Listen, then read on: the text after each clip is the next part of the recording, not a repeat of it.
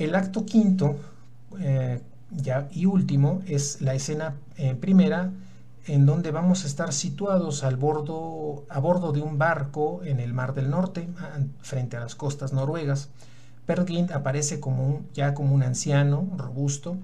Cerca de él está el capitán. Eh, y ambos comienzan a señalar y nombrar algunas montañas, parcelas.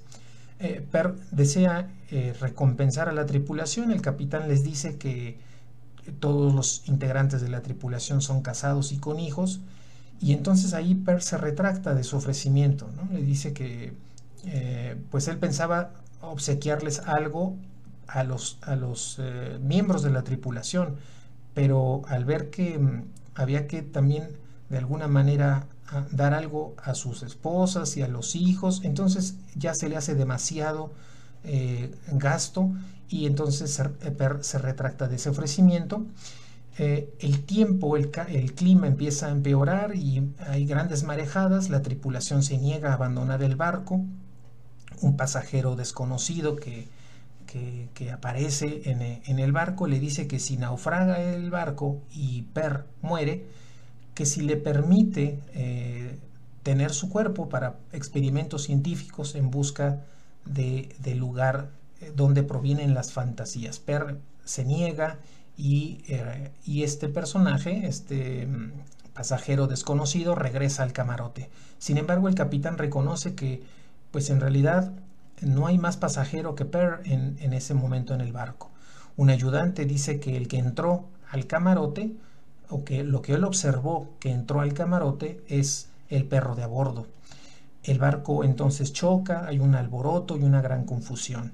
Así termina esta primera escena y ya en la segunda escena observamos arrecifes y rompientes cerca de la costa, el barco ya se está hundiendo y entre la niebla podemos distinguir el bote salvavidas con dos hombres a bordo. Se oye un grito, luego todo se queda en silencio durante un rato y surge la quilla del, bote y cerca de ella ah, aparece la, cabeza de, Per Gin eh, y aquí Per y el cocinero del, del barco eh, se empiezan a ahogar e intentan salvarse sosteniéndose de la quilla. Eh, pelean y Per eh, lo que hace es separar al cocinero de la quilla y este evidentemente se hunde y muere. Llega entonces el pasajero, quien le recuerda el trato sobre el cadáver del propio Per. él no desea morir y el pasajero le dice que no puede morirse a mitad del quinto acto y después de eso eh, de como una presencia espectral desaparece de la escena. En la tercera escena vamos a estar situados en un cementerio, ya en una comarca montañosa. Se observa un cortejo fúnebre, un pastor y acompañantes. Al entrar al cementerio, Per escucha a un pastor, a un sacerdote, decir una oración fúnebre, reconoce en sus palabras la idea de ser uno mismo y que al fin, o la idea de que al fin es eh, ser pobre pero honesto. En la escena cuarta estamos en, la, en una colina, hay una gran concurrencia, Per está sentado sobre un montón de escombros, ruinas de un antiguo molino, y eh, aquí Per comienza a lamentarse por estar otra vez en el mismo lugar, por no haber podido eh, hacer una vida en otro lugar y ahora se encuentra de regreso en el mismo lugar donde inició. Eh, aparece o se acerca el hombre, un hombre de luto, en este caso mm, lo vamos a ver que es precisamente el herrero Aslak, eh, que se casó con, Ingrid en el primer acto de la, historia, y dice que, ya aquí ya no restan, restan más que cascotes. Per le pregunta si esta concurrencia se debe a un bautizo, a una boda o a qué, y el hombre de luto le dice que es un funeral. Sin reconocer a, a Per tres mozos que están en el lugar empiezan a presumir algunos objetos que han comprado. En realidad aquí son pertenencias de, de Per que eh, ya fueron compradas por otras personas. Per dice que quiere subastar también él restos y despojos de sus propiedades él mismo pregunta a los demás por Per em, le dicen que, que, eh, que él era un eh, cuentero, que se fue a tierras lejanas y que le fue mal, que, que lo ahorcaron. Eh, siendo que el, el propio Per quien está, está, ahí eh, haciendo la pregunta. Entonces, eh, antes de retirarse, Per les comparte un cuento eh, también muy fantasioso y el público se queda en silencio y muy inquieto por esta manera de presentar esa historia. En la escena quinta, transcurre en la noche de Pentecostés, en medio de la espesura hay una cabaña. Perguín está ah, andando a gatas buscando cebollas silvestres. Y hay aquí una, una imagen muy interesante. Per deshace una cebolla y a cada capa que va quitando recuerda cada uno de los pasajes de su vida. Se acerca entonces a la cabaña que reconoce y adentro está Solveig, quien está cantando. Pero Per reconoce la voz de ella y eh, en su rostro pálido, eh, lo que hace es correr por el sendero del bosque, no se enfrenta a ese encuentro con Solveig. En la escena sexta, que está ambientada en la noche en un páramo con pinos devastados por un incendio, eh, Pergin atraviesa el páramo corriendo, se lamenta por las fantasías, los sueños, la ciencia muerta como, como base de toda su vida. Y aquí hay varias figuras eh, metafóricas que le hablan a él.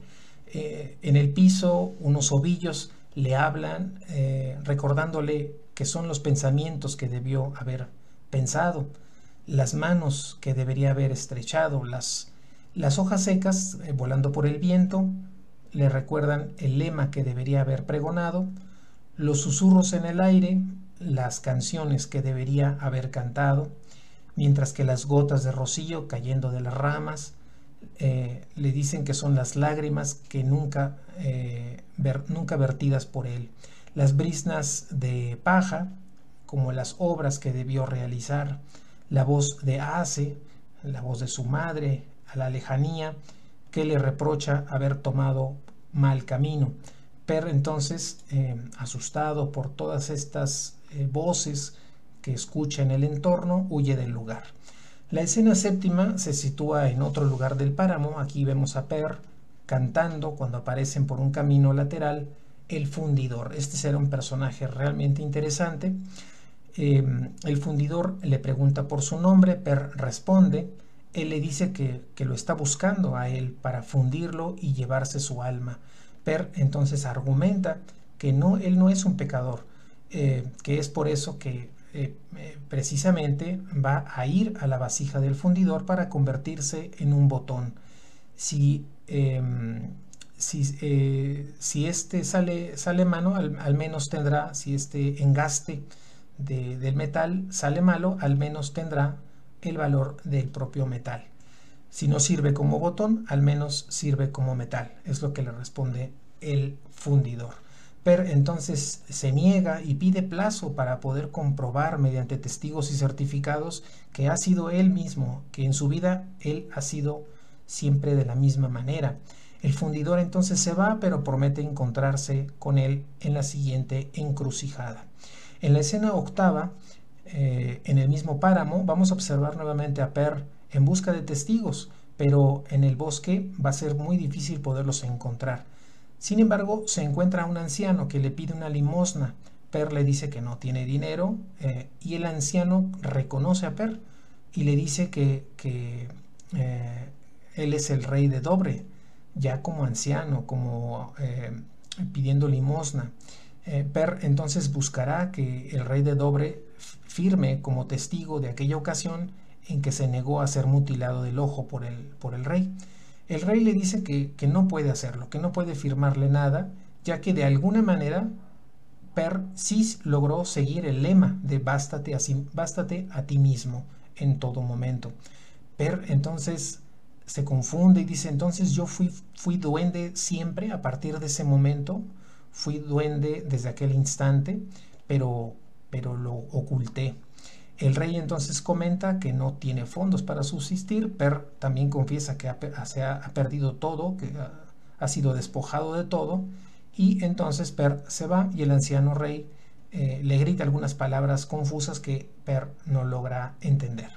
La escena novena se sitúa en una encrucijada. Nuevamente vamos a encontrar aquí a el fundidor que regresa y que le pide a Per el certificado.